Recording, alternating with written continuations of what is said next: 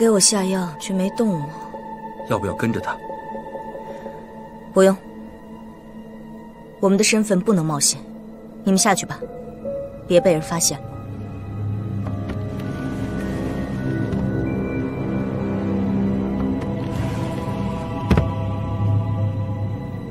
范闲，你到底要做什么？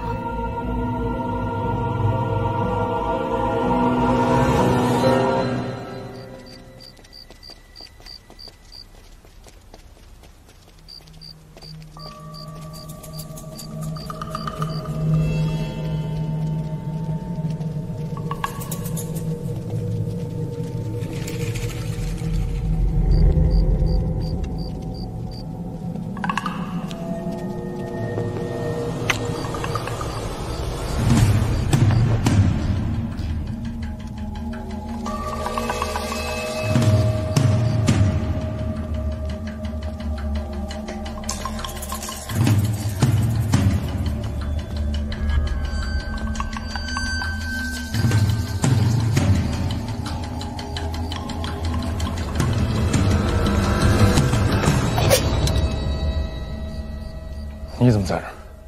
吃了花酒，出来散心。哎，他为何要害你妻小？只是小小冲突，何必斩妻杀绝？有些人生性凶残，就如畜生一般，怎能理喻？文卷上说他指使下人破门灭家，如此嚣张，这不是他性子。知人知面不知心。他对付你的时候是让府衙用刑罚定罪，为什么转眼之间就不管不顾起来了？你到底想说什么？这事儿太急躁。郭宝坤应该不是这样的人，你就不想知道真相吗？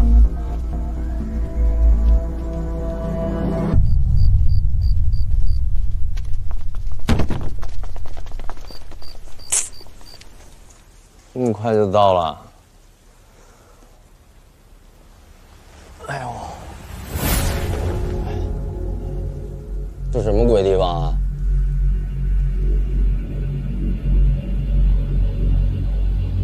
喂，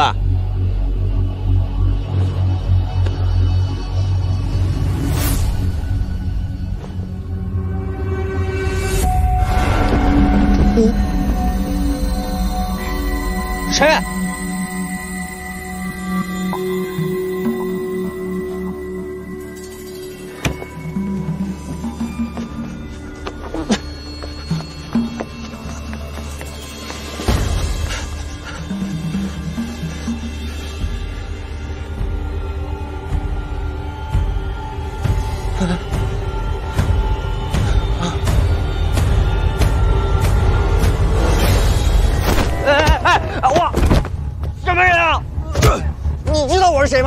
咱俩这么熟，我哪能不知道啊？你你是范闲？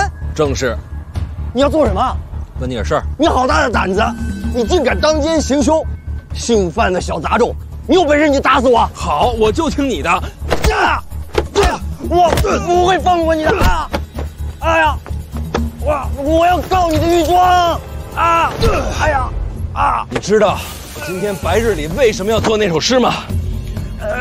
悲秋常作客，百年多病独登台。我告诉你，我就是要打得你飞，我打得你多病，我打得你郭若在这个京都登台。啊！别别打了，别打了，别打了，别打了！不是，求求你别打了！你你到底要问什么？你为什么要杀滕子京的妻小？谁？你跟我装傻是吧？我我真的真的不知道。等等等等等等，我我想起来了。想起什么了？那个滕子京，我记得，他妻小跟我有何关系啊？杀人家全家，你这会儿说没关系？啊，真的，真的没有啊！当真，好，知道，不说是吧？那我就打死你！你就是打死我，我也不能背这种罪名啊！啊，当真没有杀的迹象。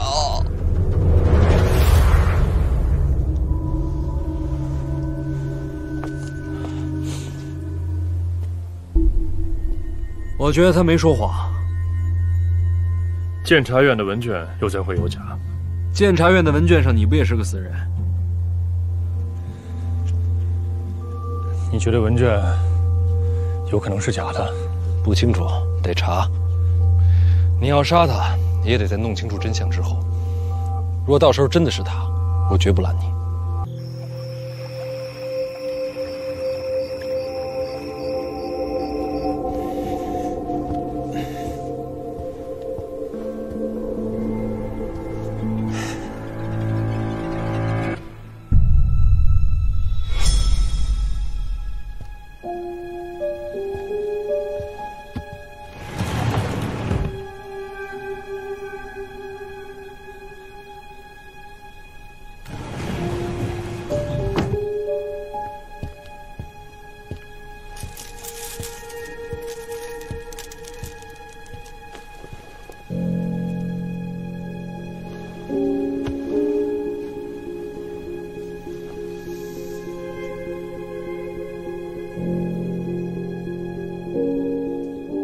拔你发簪的时候，顺手取了你一根头发，打了个结儿放在肩膀上。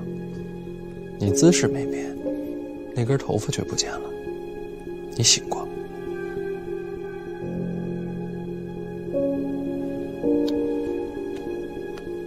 你能控制得了呼吸，但是控制不了心跳。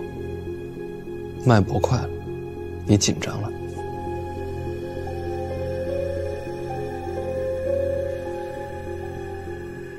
公子还会搭脉呢。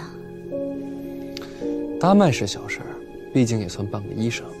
不过头发的事是假的，这么容易被骗，你还是大意。真是多才多艺呀！中了我的迷药，一般人一时半会儿醒不来，除非是长期服用迷药，身体产生了抗药性。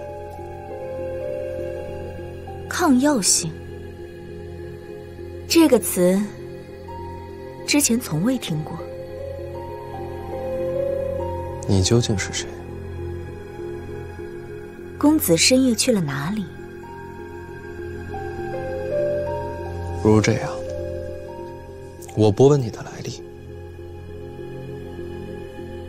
那我也不知公子曾经离开，只记得。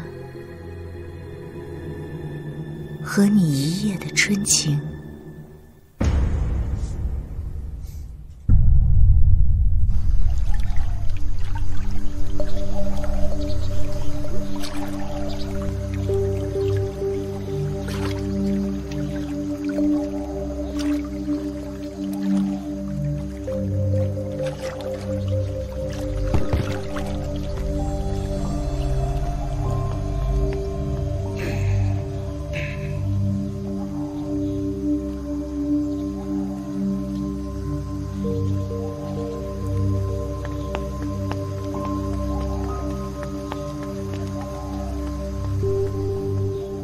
范兄，这一夜过得可好啊？腰酸腿软，回去可得好好补一觉。范兄，请便。魏儿去。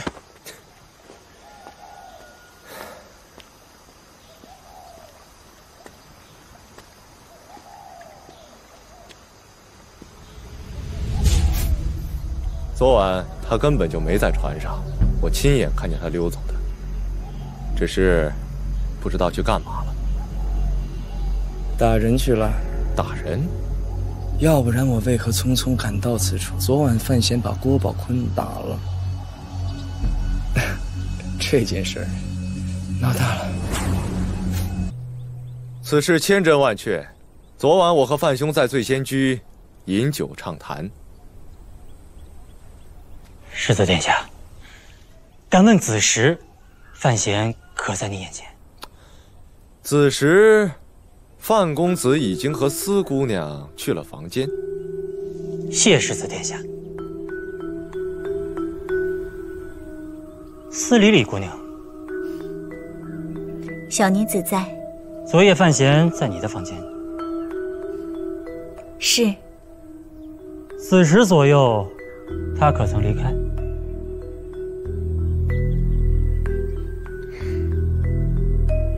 春宵一刻，范公子若是走了，岂不是连男人都不算了？四姑娘，大堂之上不可说谎。范公子昨夜确实和奴家在房内，不敢隐瞒。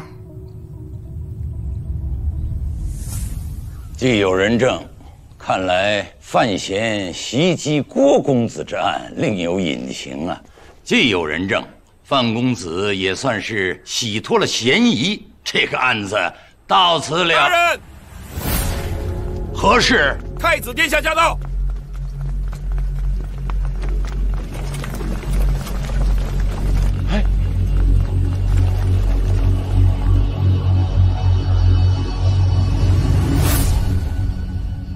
郭公子，范闲晚了。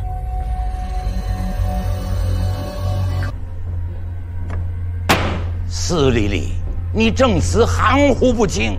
来呀，来，用刑。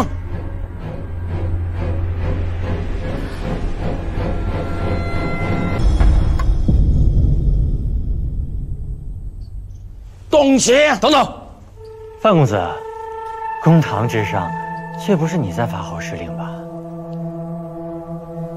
你若认了，他便不用受刑。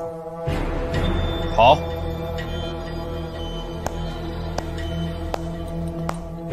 好一个屈打成招！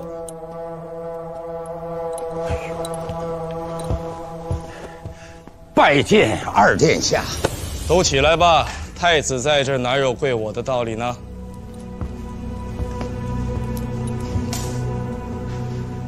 拜见太子殿下。二哥，跟你说了多少次了，兄弟之间不必如此。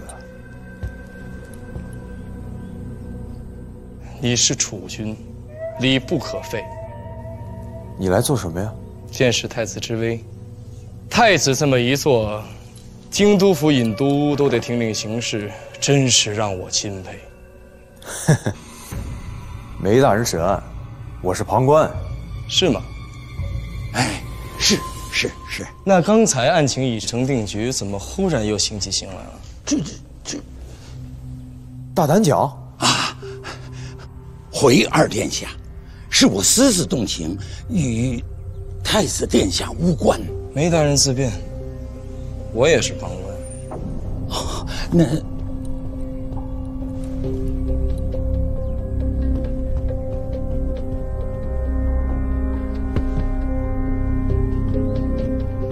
殿下请。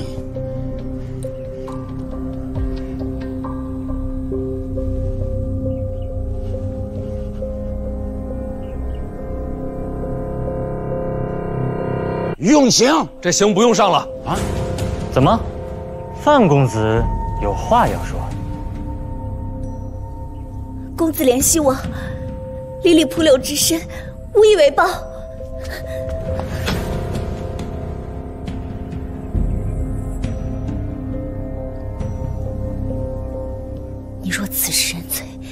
承认我公堂扯谎。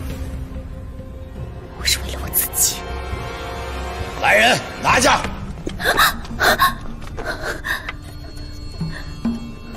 动刑！再问你一遍，司礼礼，昨晚范闲是否离船？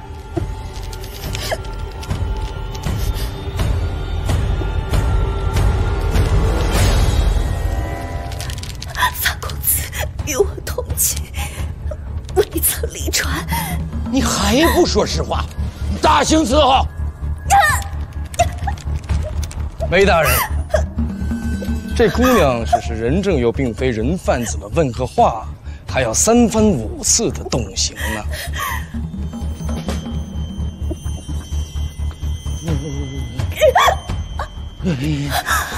二殿下说的极是。好了，再搞下去。就真成屈打成招了。这么看来，郭宝坤确实是误会范闲了。稍等片刻。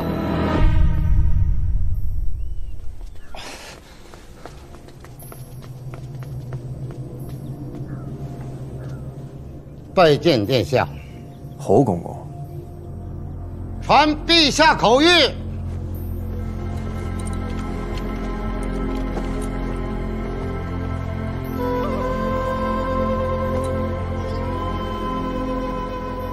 滕子京未死，乃监察院另有安排。朕都知道，不算欺君。司法审案是京都府的事儿，皇家子弟都自个儿回家，少管闲事。谨遵圣谕。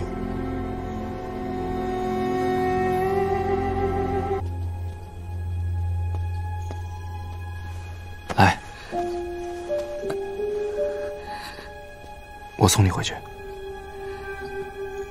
范公子前途如锦，李李不敢纠缠。改日，醉仙居再见。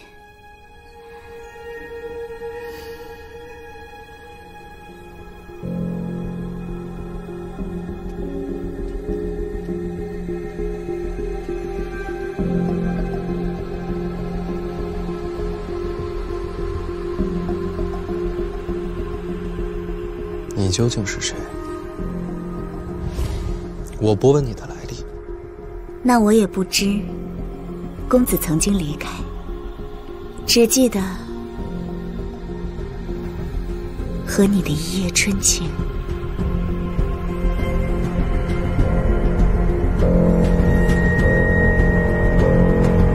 别火烧花船，驾马出城，那一定会引起监察院的警觉。虽说他化身六路，但是大的方向都是朝北。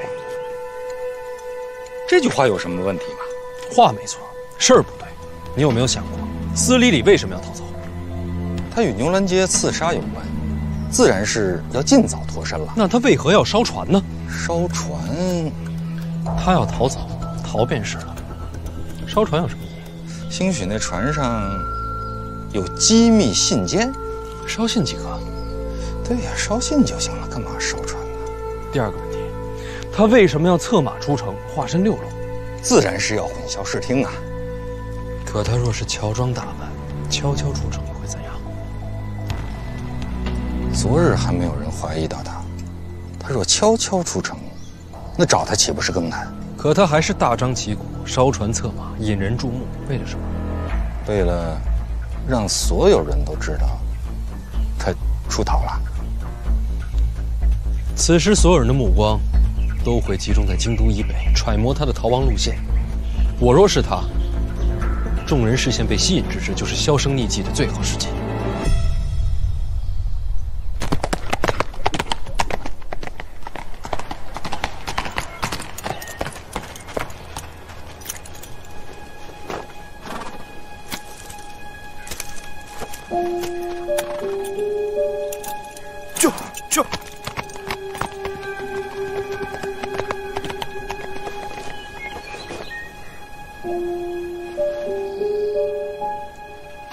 么说，这六路人马没有一个是司礼礼啊！此时，真正的他早已潜藏在众人视线之外。那我就不明白了，他悄悄的逃了也就是了，闹这一出干什么呀？因为庆国现在跟北齐剑拔弩张，大战一触即发。这这这有什么关系啊？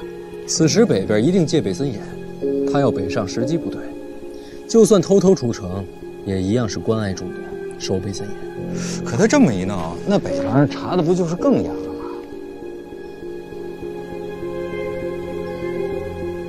所以他未必是王北，不回北齐了，还是要回。王青天，要是不往北去，还有什么路能到北齐？回北齐不往北去，这岂不是？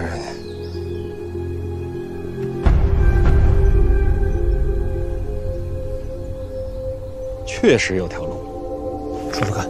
不北上，一路向东，找到商船，海上归期。哪座海港最有可能？东夷城啊？不对，我方对东夷城戒备森严，况且去东夷城也是关爱众多。除此之外，便是这里。哎，大人，你看这儿眼熟不眼熟？你都画成这样了，我能眼熟什么呀？说，不是，这就是大人从小长大的地方啊。儋州港，对，儋州港。从京都出，到儋州港，这都是在庆国之内。应该就是儋州港。哎，你再看看，从京都出北门折往儋州港，哪条路线最近？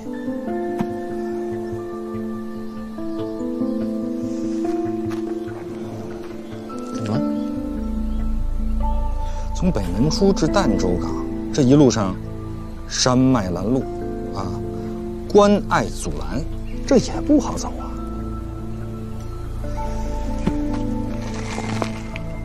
还有条便捷之路，说，那就是重返京都，从东门出。出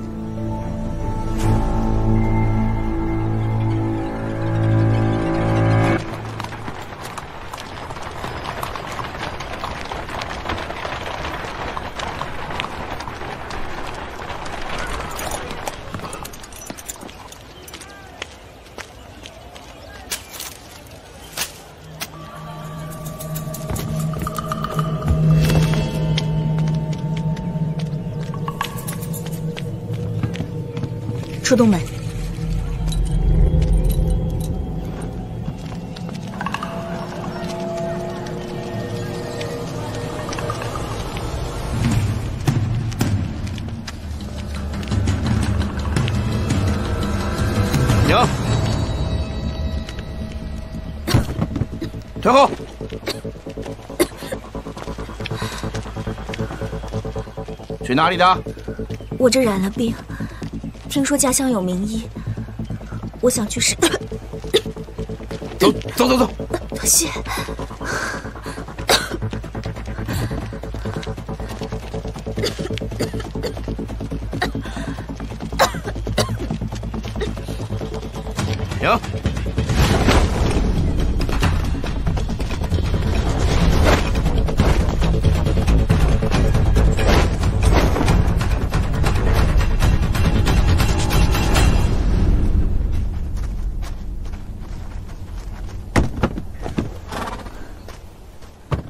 你们不用回京都了，轿子搬到山里烧掉，各自散去，没入痕迹。是。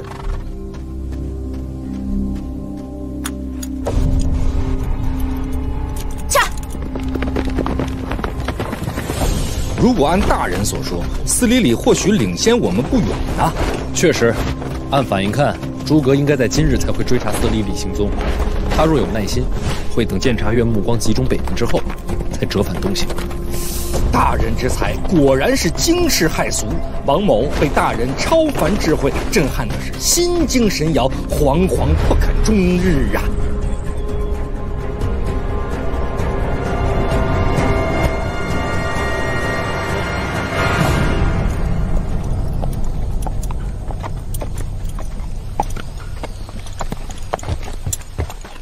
小哥，马匹为上好的饲料，再给我一间上房。好的，您这边请。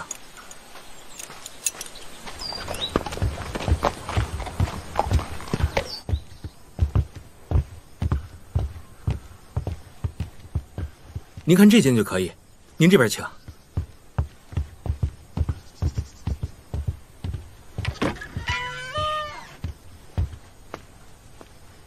您早点休息。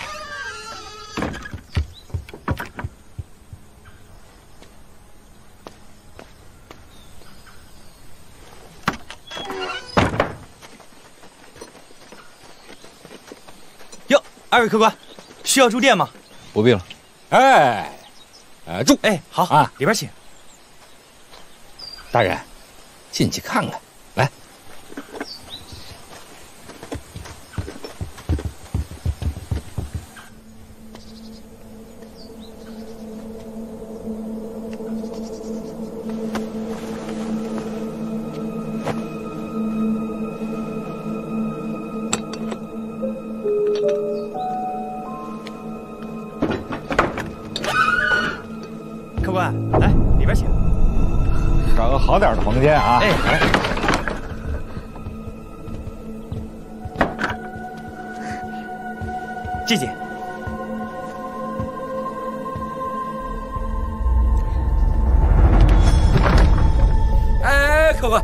官，这间有人了，您这边请。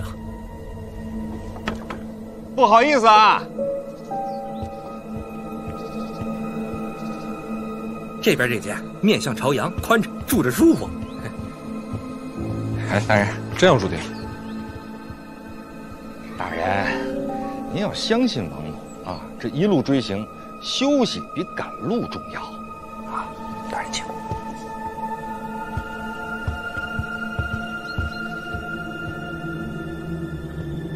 您请。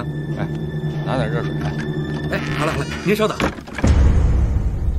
范闲怎会在此？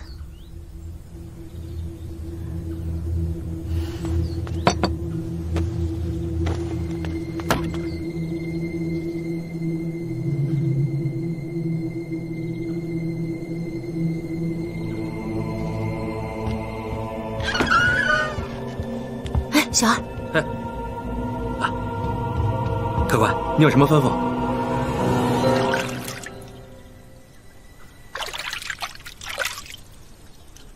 来了。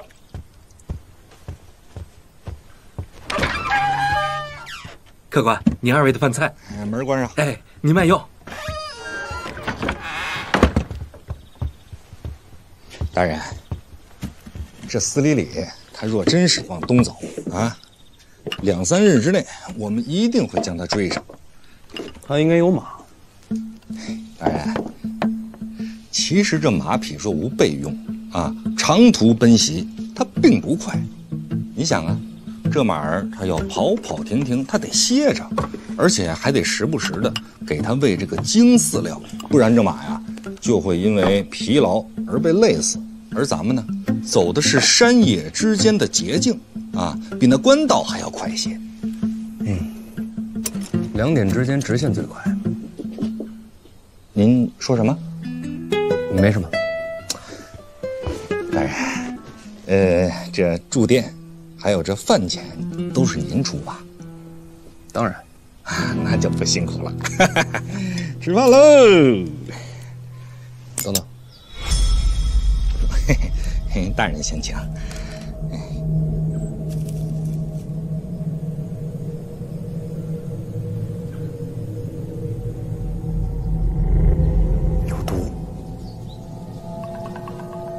莫非？看来用不着等两三天了。那饭菜自然是后厨做的。后厨做完送去哪儿了？我就直接端你们房间了。中间有谁碰过？嗯，没有。好，那就都是你的责任了。过来，看看看看，自个儿看看。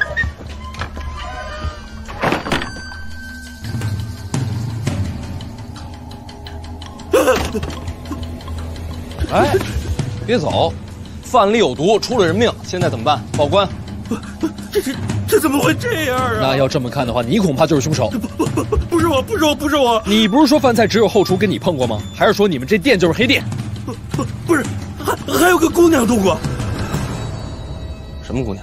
也也也是下午入店的，她非要说看看店里饭菜的成色，再决定要不要在店里吃。我就把你们的餐盒端过去给他瞧了瞧，其他什么都没做。为什么偏选我们的饭菜？住住住得近。就住对门，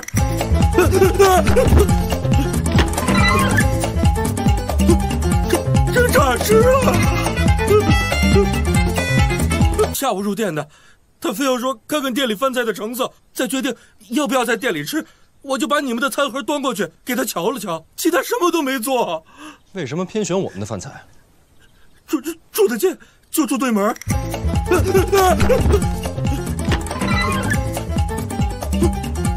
这咋吃啊？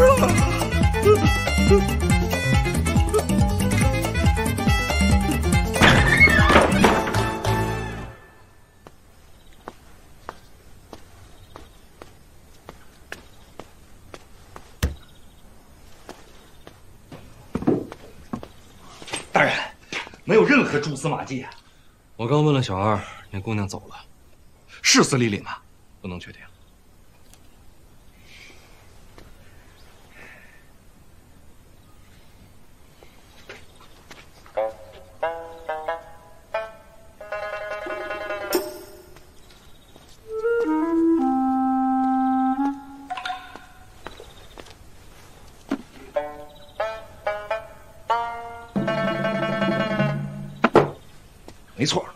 就是他。认可认定。晨光的味道，什么晨光？一种熏香啊，醉仙居一直在用此香，此香余味悠长，不易散去。你闻闻。你怎么知道？呃，追踪之术啊，香味识别，这是追踪的基础啊。我是问你怎么会知道醉仙居用的什么香啊？不瞒大人说，醉仙居呢，王某也去过，但只是听取啊，呃，别的什么都没干。把持得住？哎呀，实在太贵，王某不舍得花那银钱。再说我也不敢。哎，大人，大人，此事可不能让我夫人知道，不然王某的小命那行了。既然香味确认无误，应该就是司丽丽。咱们连夜追踪，或许今晚便有收获。赶紧把脸擦一下，怎么追？那姑娘骑着自己的马往皮甲丘去了。东去儋州港有两条路可选，一是皮甲丘，二是朝梦河。你怎知他去向？他自己问的路。我还劝他天快黑了，披甲丘山贼横行，莫走夜路。可是他却偏偏不听。多谢。走吧。走。哎，大人稍等。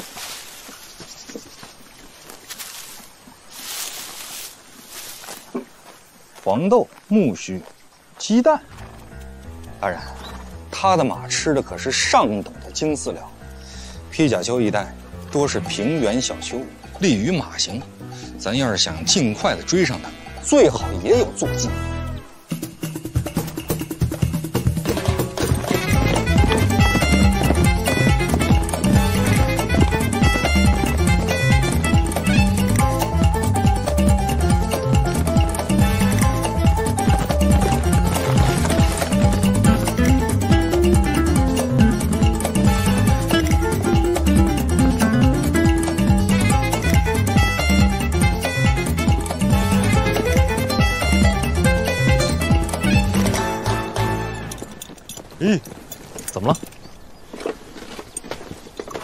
方有新鲜的马奔。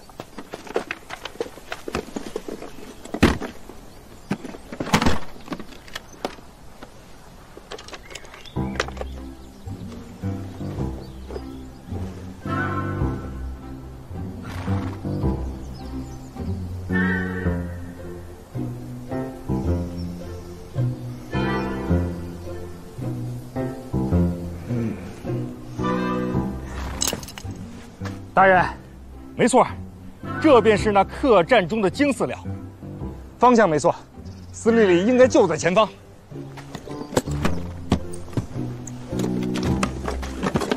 你等会儿，怎么的？刚才看你吃这东西的时候，我总觉得哪儿不对劲儿。大人，我没吃啊，你不觉得太顺了吗？什么太顺了？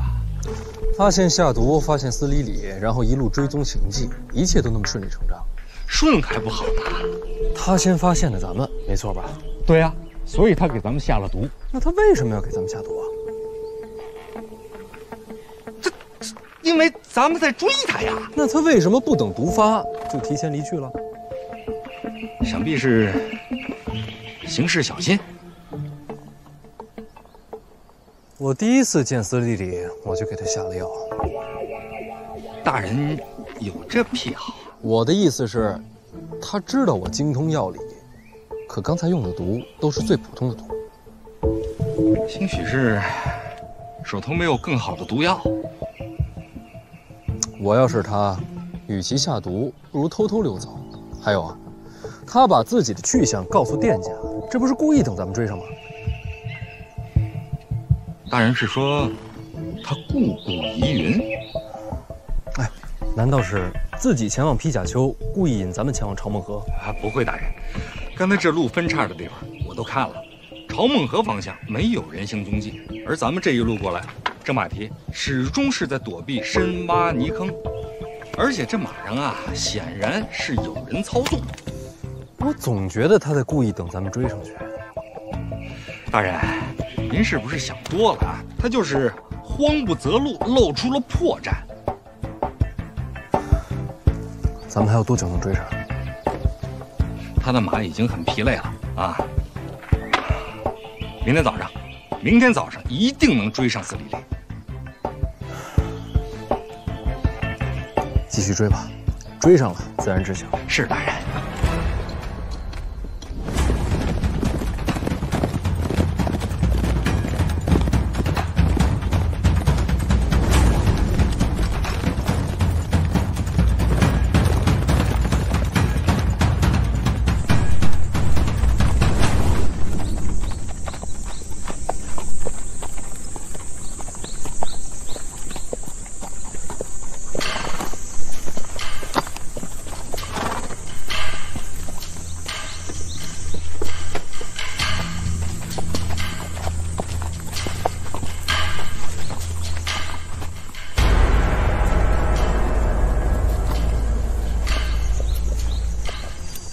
司礼礼，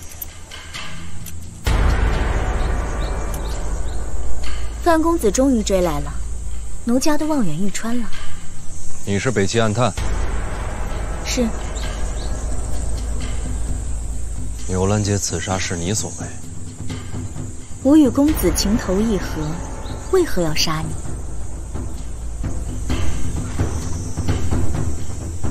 回京都慢慢谈。范公子。能不能放我离去啊？不能。在镇上客栈瞧见公子，吓我一跳。我自问逃得仔细，结果还是被公子追上了。公子追踪之术，真是叹为观止啊！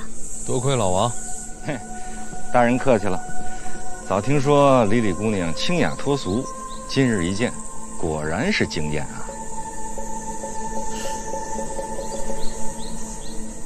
知道我为什么下毒引你前来吗？果然是故意的。因为我担心，就算再逃，也是躲不过去的。所以就在这里束手就擒了。若是如此，当初在客栈就该放弃。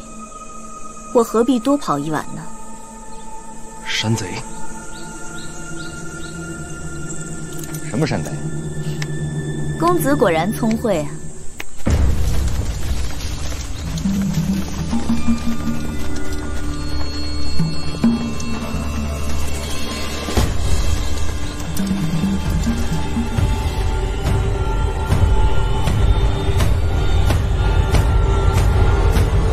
奉行于此处的山贼，也是北齐安探。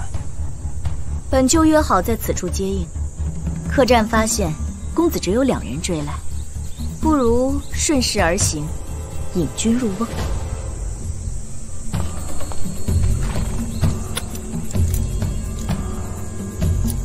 公子保重，奴家先行一步。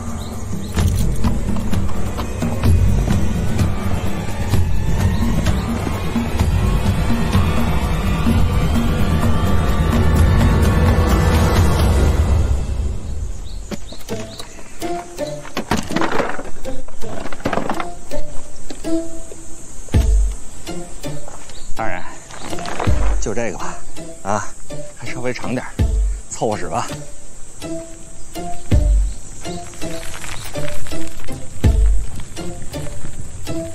对方都是六品上啊，咱找机会遁去，为上。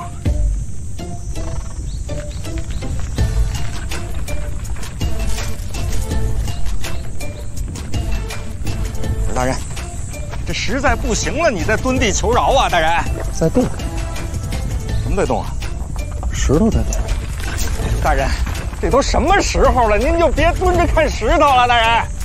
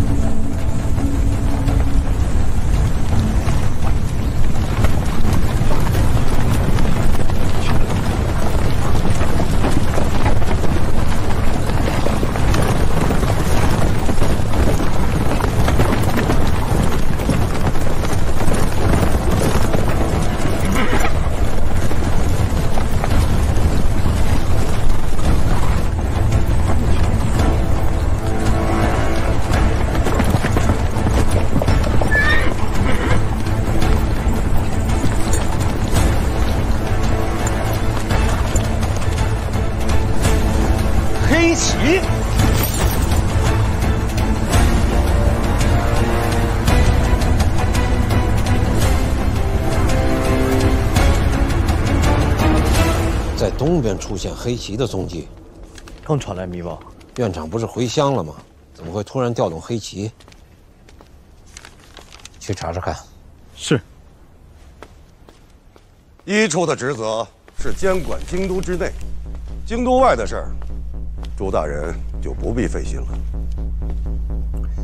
你就不想知道黑旗为什么突然被调动？黑旗是直属院长第一强军，他们的行踪。我等无权过问。可院长已经回乡了，黑旗为什么会突然被调动？院长要做的事，与你我无关。严若海，你是不是知道什么？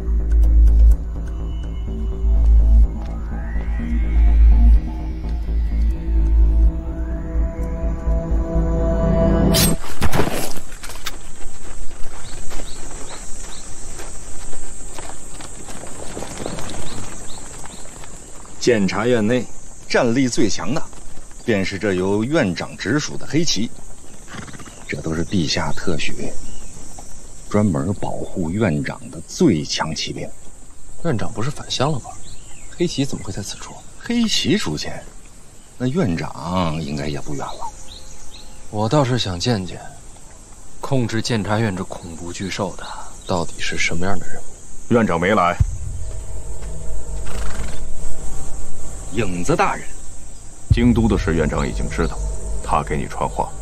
我，他让你放手去做，便算是天塌了，他也会再把他顶回去。院长认识我，话就这些。院长什么时候回京？在你最需要他的时候，他自然会在。虽说监察院六处负责暗杀，但是院内公认也是最可怕的刺客，便是这位影子大人。常年跟随院长左右，但是没有人见过他的相貌，也没人知道他的姓名。所以说，他有可能是我们身边任何一个人。正是。千骑横扫，所有的诡计妙策都变成笑谈，这才是真正的强大。你到底是什么人？陈萍萍居然愿意为你调动黑旗？说起来你可能不信，这名字我第一次听说。陈萍萍是院长名字，哎，不敢直呼其名。萍萍是哪两个字？浮萍的萍，有些秀气，不是不可直呼吗？你就不要直呼了吗？这个名字曾经横扫天下，成为诸国噩梦。监察院陈萍萍是公认的暗夜之王，万恶之源。回去路上，咱们慢慢谈。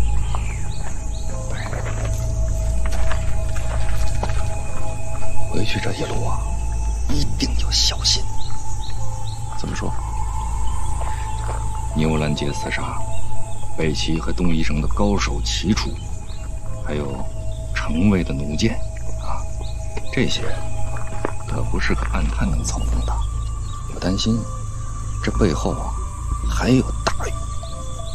所以呢，这里边水太深了，所以这一路啊，我们要隐秘些。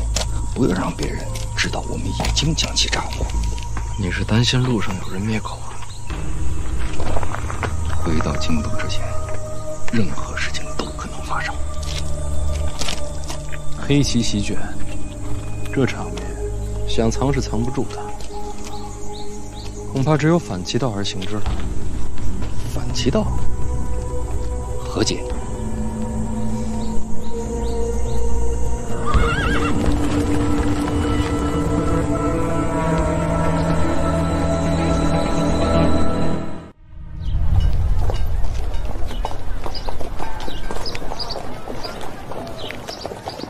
儋州范闲千里追行，押送北齐暗探司礼礼归京。哎呀，这个司礼礼看样子犯事不小啊！没想到啊，他居然是个暗探。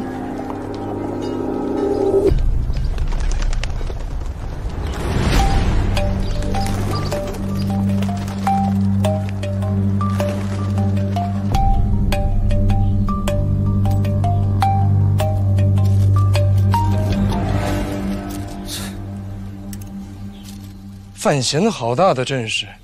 这北齐暗探这事可抓不可说。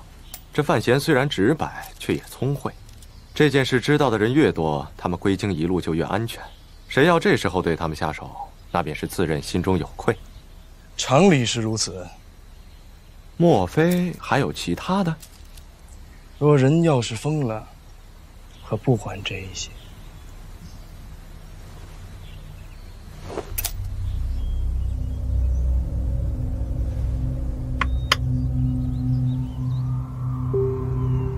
姑姑笑什么？啊，我这未来的女婿倒是有趣。司礼里现在是烫手的山芋，此时大张旗鼓进京，倒也算有极致。不如将他杀了吧。杀了？以他的速度，明日方能回京。若派杀手将他诛杀在城外，那婉儿就不必嫁了。内库财权也不用易主，多好的机会！司礼里有北齐暗探的嫌疑在，若此时我们动手，不免有杀人灭口的嫌疑啊！岂不是更有趣吗？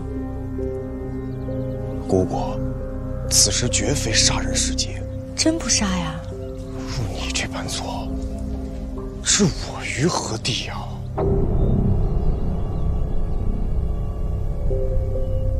你看。我和太子说笑呢，他居然还当真了。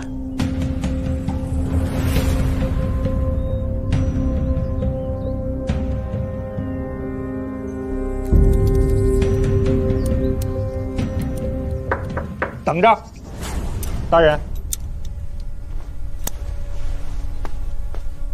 这么一会儿，这是第三波人了。要不咱俩猜猜，这是哪边的人？是城卫的人，也是要把他调走。是，我已经用监察院的名义把人给顶回去了。城卫、京都府衙、刑部，这些人都想要你。毕竟是活生生的北齐暗探，一旦在你身上。谁要是套出了新的情报，那就是立了大功一件。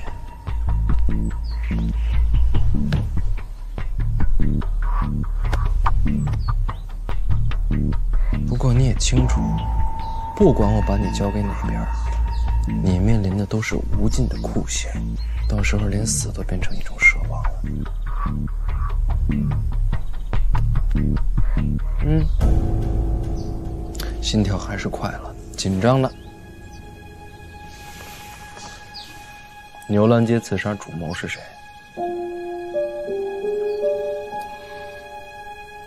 为什么一定要有主谋？为什么就不能我布局杀你？你没道理杀我。难不成我真对范公子情根深重了？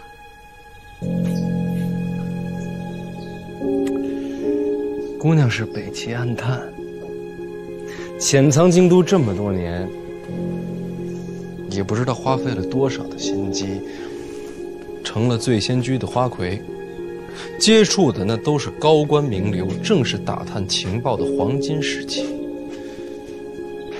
你现在把身份暴露了，这一切努力就白费了。你付出这么多的代价，你要是杀太子、杀皇帝、杀宰相，那都说得通。杀我，不至于吧？公子果然聪慧啊！嗯，那姑娘就是承认刺杀主谋另有其人了。如此聪慧，不如自己猜那人到底是谁。那不如你把名字告诉我，我保你性命啊！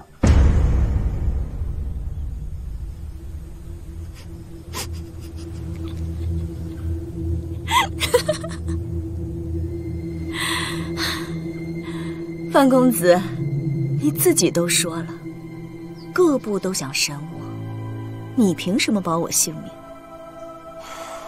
明日进京，你终究是要把我交出去的。说，与不说有什么区别？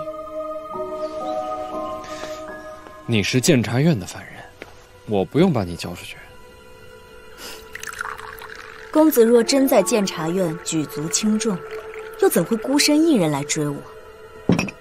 什么话？我不是人呐！大人，喝水。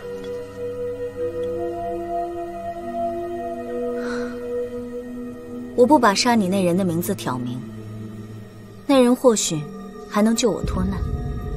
若真说出来，就只能任人鱼肉了。现在救你太难了。我要是那人，我杀你灭口。公子说了，我要面对的将是无尽的苦刑。就算真要被杀，未必不是一种解脱呀。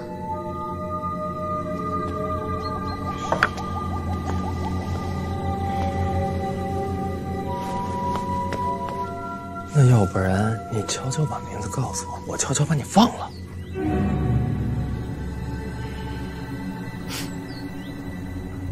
公子，你说笑呢吧？此时此刻，各部目光都在我身上，你敢放我？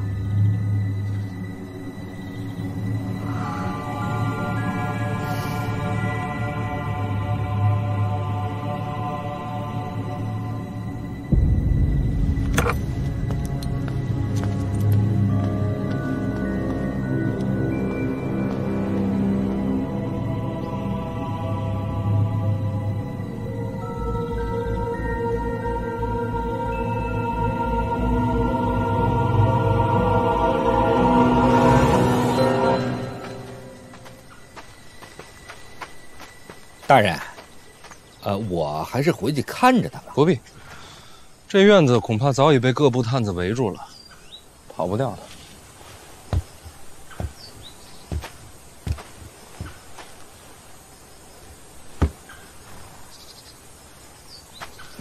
哎，要早知道这样，咱们就不用这么着急把他带回京了。黑旗一出，表示陈院长已经知道此事。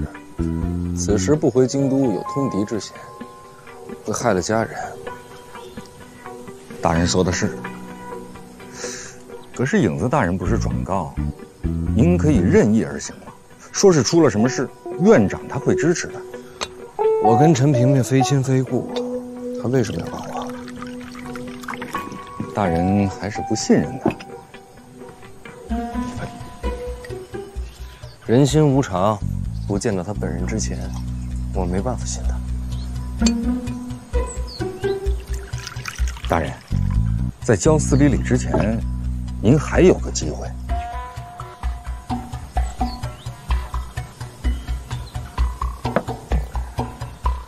你是想说私刑吧？对呀，您看，现在司礼礼还在您的掌控之中，如果您对他用以私刑，这一夜折磨。他兴许就说出真凶了。对一个弱女子动刑很容易，但人若没了底线，跟野兽有什么区别？大人说的是啊，那咱们就只能等回京之后，再看看有没有其他的机会。王启年，刚才我要是选择动私刑的话。你是否就会弃我而去？大人若是无了底线啊，那我那每月的一百五十两银子不就没保障了吗？五十两，五十两啊！大人放心啊，只要这五十两银子不断，王启年就始终是您的门下之客。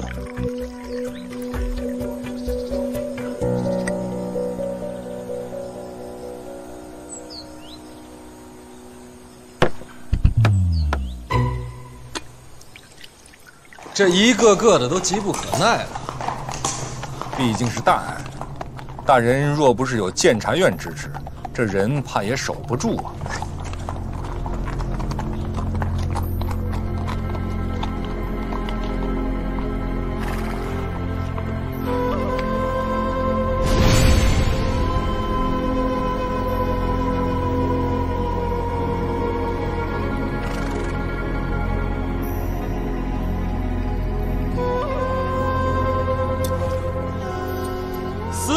是我监察院人犯。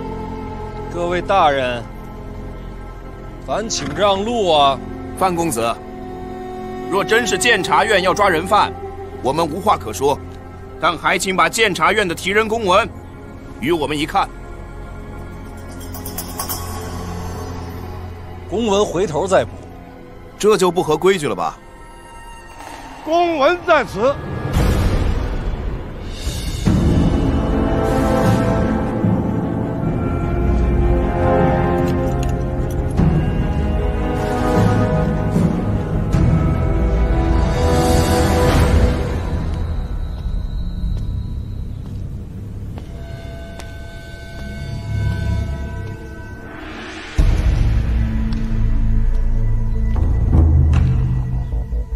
监察院直属陛下，京都内外诸般事宜都有提审之权。公文在此，若没有陛下圣谕，这人我就带走了。不服气的，只管抢人。跟上。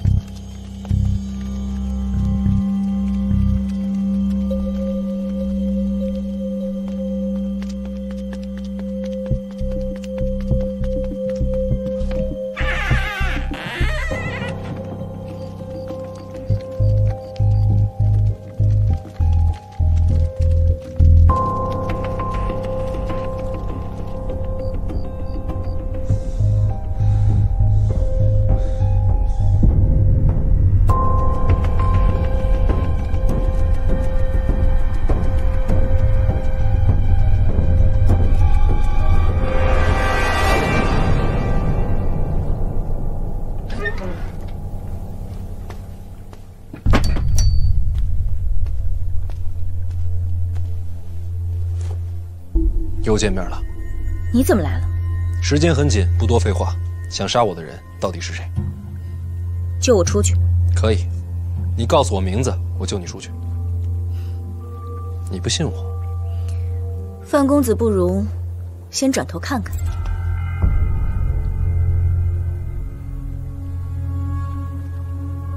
司礼里身为北齐暗探，却与城外勾结。城外的参将死了。应是灭口，由此可见，灭口那人位高权重。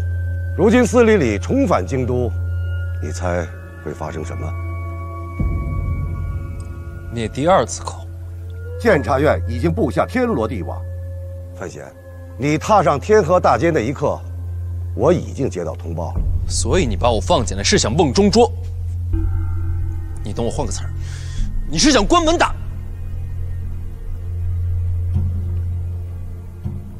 你要是想知道真相的话，为什么不自己审司理理？你才是主审。我？这是他牢门的钥匙，司理理就交给你了。无论你做怎样的决定，监察院都会支持你到底的。武坚为何要赶我走？你无权无职。对方连参将都敢杀，若是知道你主审司礼礼，定会对你不利。明面上让我置身事外，其实是在保护我。那若我今夜不来呢？监察院从此与你无关。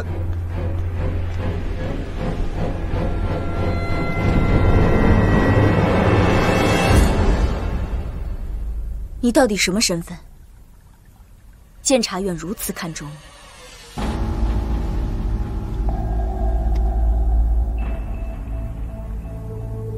现在应该担心的是你自己的命运。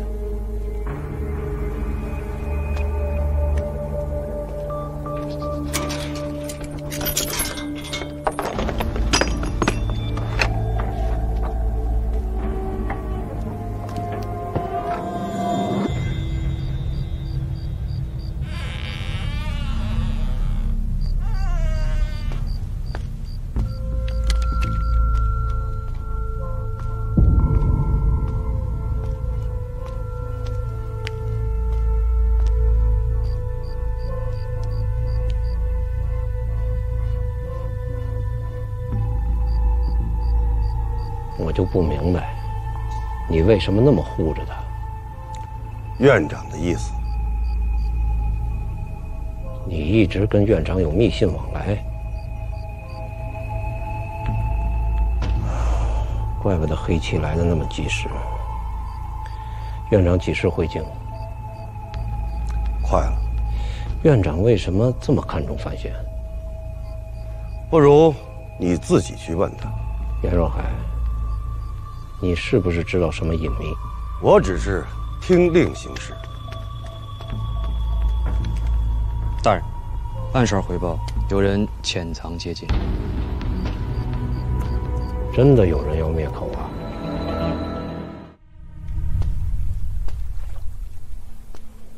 你都听清楚了。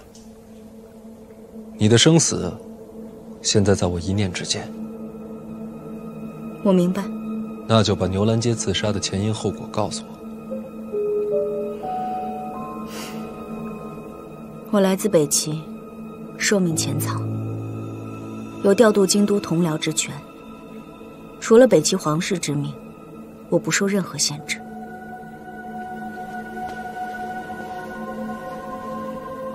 所以你的意思是？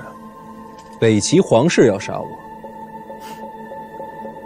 范公子虽文武双全，恐怕还没这般地位。所以呢，真相是什么？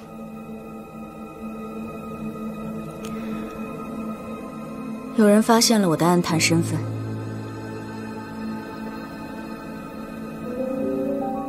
你露了马脚？并非如此。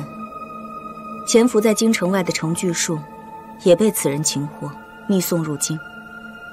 但程巨树的踪迹，只有北齐的大人物才有权知晓。北齐高层也牵扯其中，不然我的身份是谁泄露的？之后呢？程巨树桀骜，不受胁迫，那人便来到醉仙居，逼我交出暗探令牌。我若不从，他便会拆穿我的身份。程巨树见到令牌便会听命行事吗？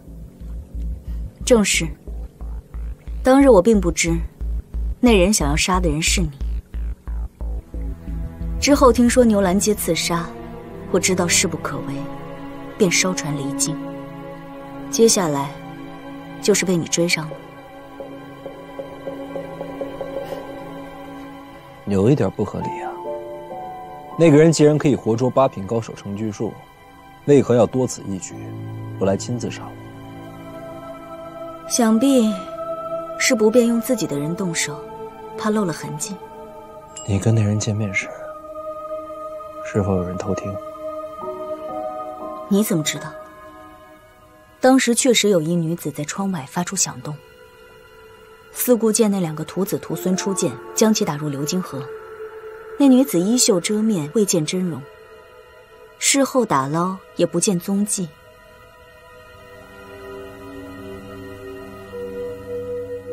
最重要的一个问题：要杀我的人是谁？你，放我出城，我给你名字。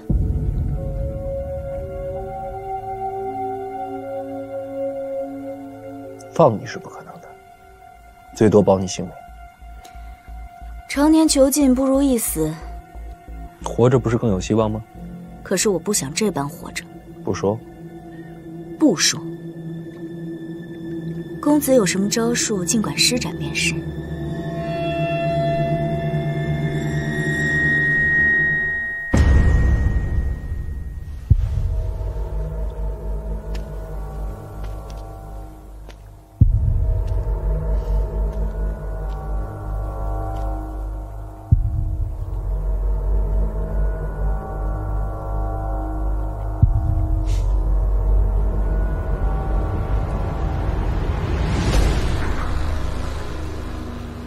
不准备对你用刑。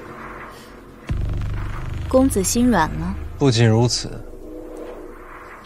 我还准备把我要用的手段告诉你。不用刑，还能有什么手段？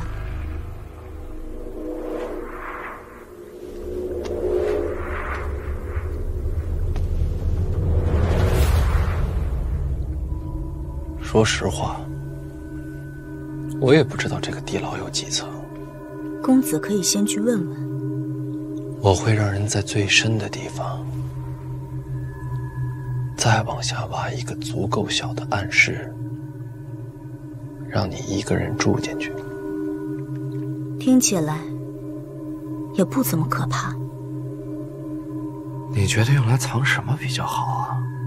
在这样狭小、幽闭的空间里，只能储藏物件。没有什么光亮，也不会有任何声音，只有无尽的黑暗跟沉默。相信我，没人能在这样的地方坚持下去的。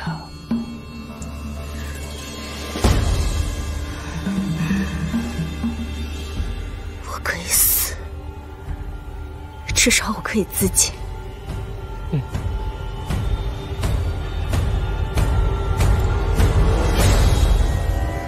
吃一颗下去，立刻毒发身亡。我给你选择了，要么在九幽之下囚禁终生，要么。我不介意你在我面前服毒自尽啊！我若死了，你永远都不会知道那个人是谁。请便。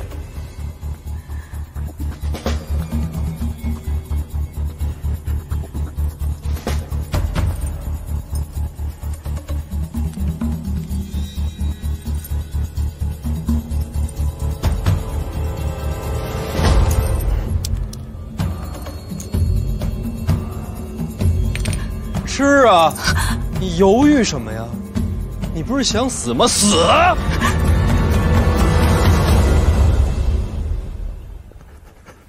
司礼礼，你不会死的。你要是想死的话，在城外黑旗出现的时候就已经自尽了。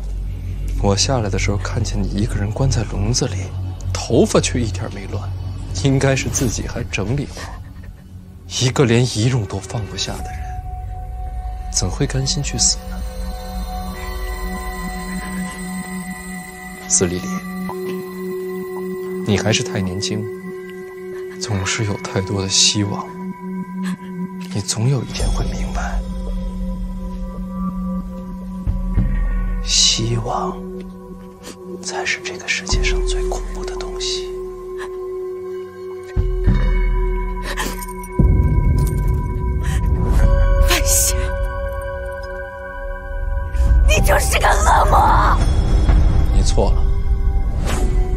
我绝不食言。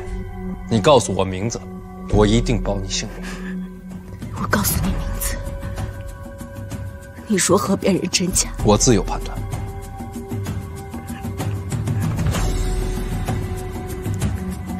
好，我告诉你名字，你别把我送去刑部。别让我遭受酷刑，更别让人欺辱我。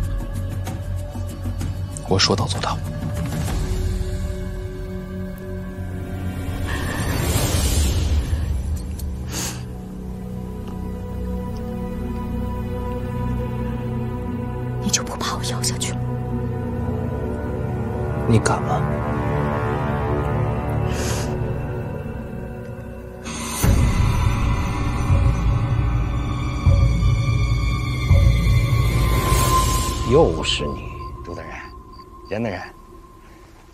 相瞒呐，我回来那是取东西来了，没想到啊，现在咱们院里边戒备这么森严，好，真好。你取什么东西？哎启禀大人啊，我那屋的案几上啊，有几本批注行文，那里边这有我藏的银票。行文里加银票。大人有所不知，贱内对王某那搜身搜的是非常的细密，所以王某只能是另辟蹊径了。去他屋里找找。是。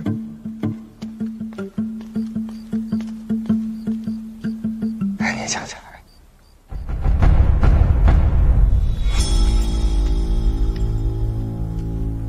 范闲，别再查下去了。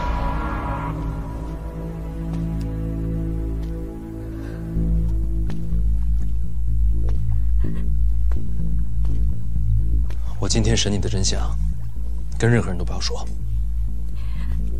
要是有人问你，你就说你是北齐暗探。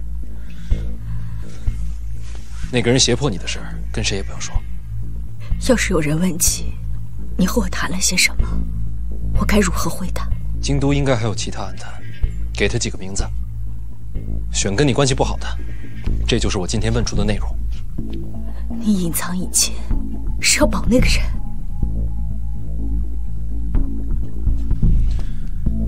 我要你相信我。如今这座城里，愿意保你性命的，就我一个人。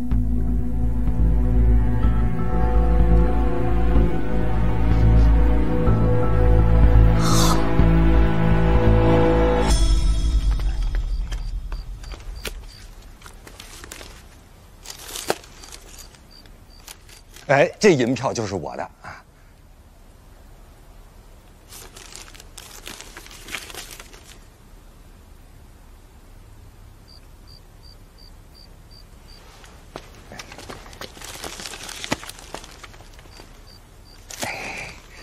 谢谢严大人。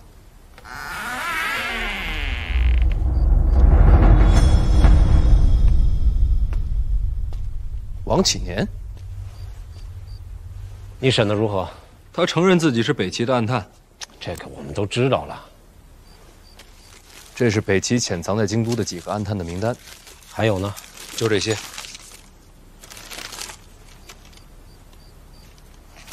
还算有些成效，剩下的就交给我吧。哎，等等，做什么？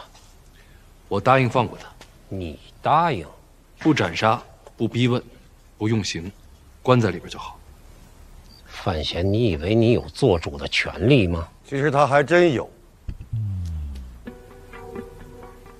院长的意思，司礼里的一切后续，都由范闲做主。再磨磨，再磨磨，再磨磨，一定能磨出东西来。院长的意思，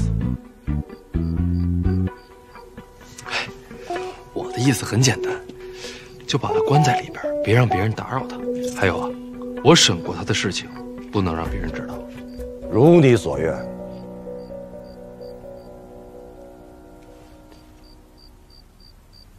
朱大人，您觉得呢？哎，院长的意思哎。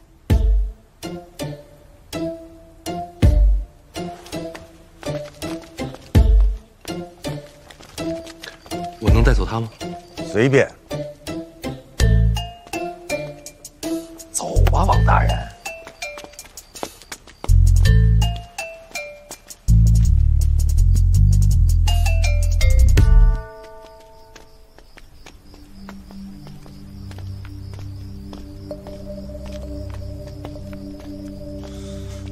不是说不跟来吗？实在没忍住，想过来看看。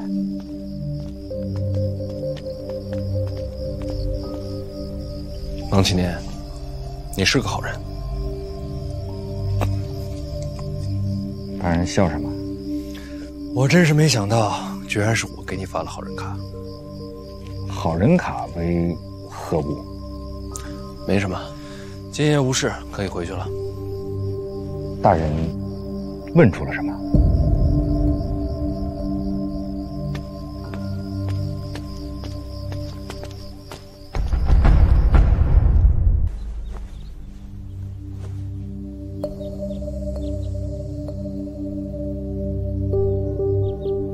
你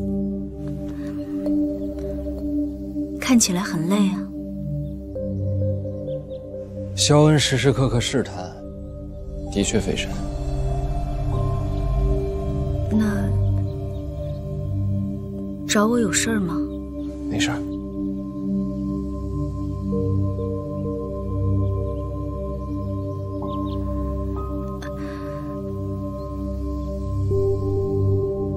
那我帮你按一下吧。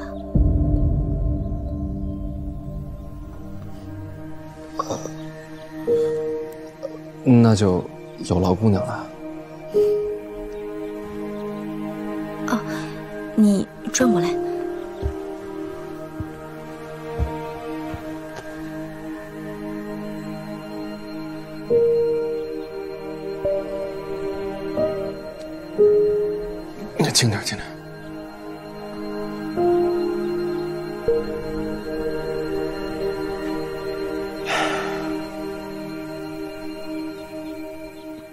何叹息啊？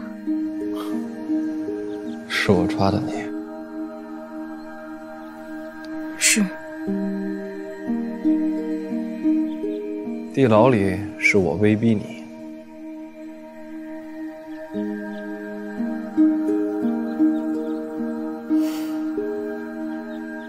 按道理说，你不恨我已是难得，为何这般对我？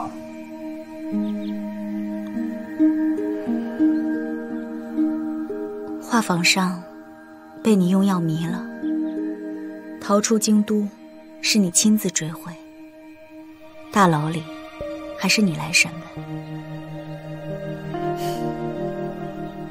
或许是命苦，何该我被你欺负？即便如此，到头来还是你护住我的性命，才有今日脱困之时。这心里不知该恨你，还是谢你。翻来覆去的想着，心里却刻下了你的影子，我已然辨别不清。都这样说了，你还叹气？难不成我就这般惹人厌吗？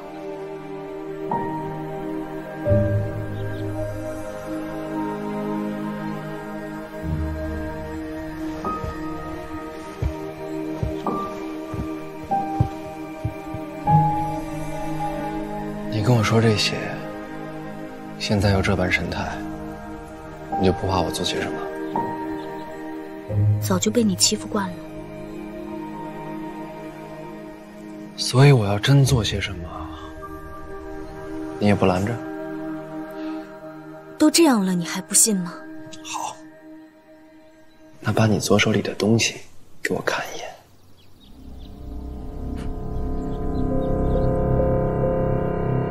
从上车的时候，你手里就藏着这簪子，是我多喜欢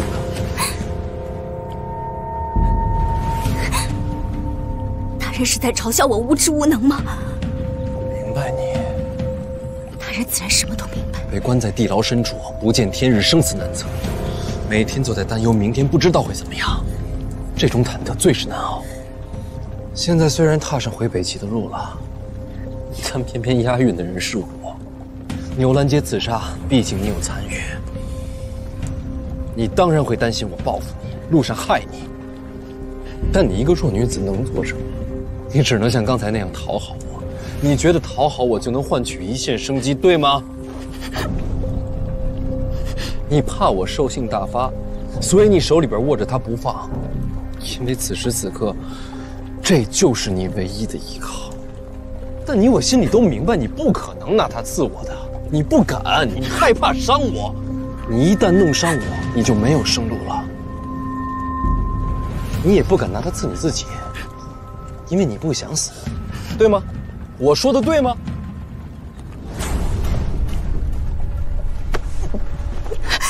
既不能刺我，也不能自尽。既然如此。留着它干什么用啊？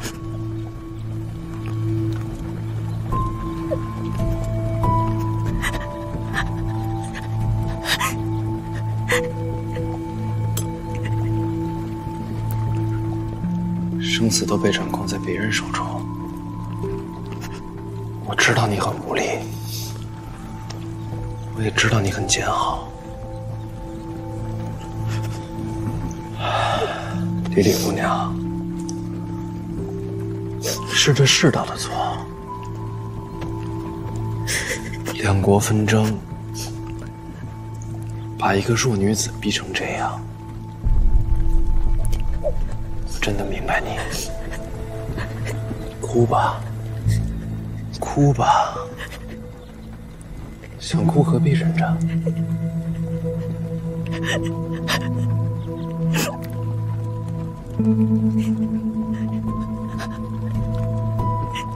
啊看什么看？赶快行军！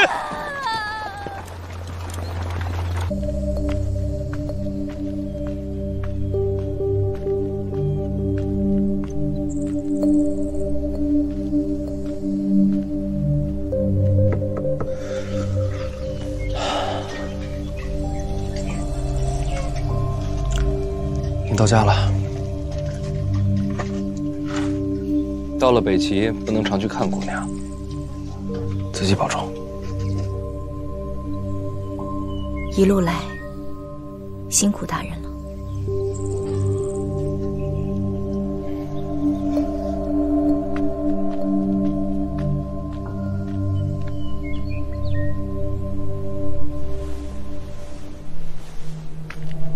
哎，人呢？大人，这有些古怪啊。虽说有人来迎接，但是却无人应答。我再说一遍啊，庆国使团来送战俘啊，尔等谁是头目？赶紧应答！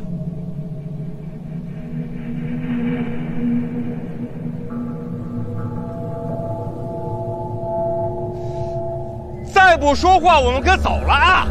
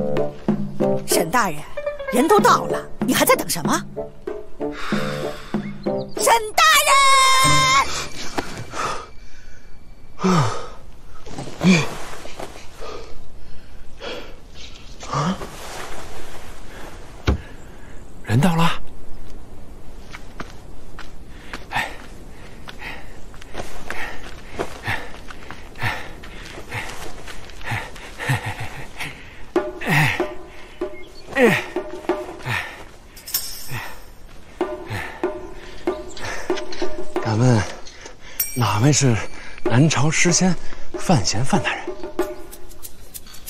这位便是我大庆正史范闲范大人。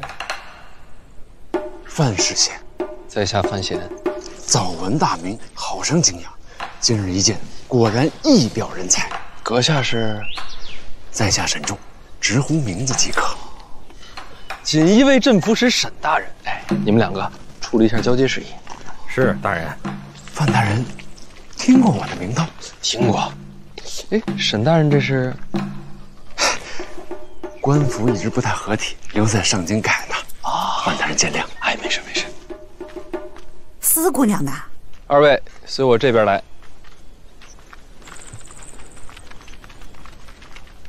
沈大人不去看看吗？小事，让嬷嬷处理就好。奉陛下旨意，迎司姑娘前往上京，请移步。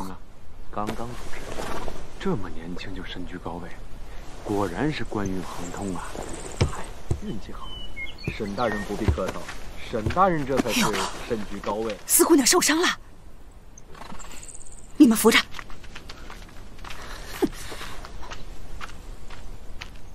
司姑娘受了伤了。回嬷嬷，这路上啊，有冒充上山虎旗下的匪徒，想要劫走肖恩。司姑娘误中了冷箭，已无大碍。你怎么能让司姑娘受了伤啊？你这脑袋不想要了吗？哎，这位什么身份啊？宫中老人了。沈大人也不必如此谄媚，我们大齐泱泱大国，不是这些庆人能比的。哟。就这泱泱大国被打得割地求饶啊！啊，庆人，你说什么？我说你北齐输了国战，颜面全失。放肆！你放手！放手！放手！好哎呦，我们庆人不会拐弯，您让我放手，我就放手啊！来来来，快起来！哎呀，看看，哎呀，嗯尔等就这么看着这贼子在我朝疆土行凶不成吗？哎，羞辱正史便是羞辱庆国，战事再起的话，尔等谁负责呀？你你小小姐，气气死我了！小小姐，小小姐，这贼子太嚣张了！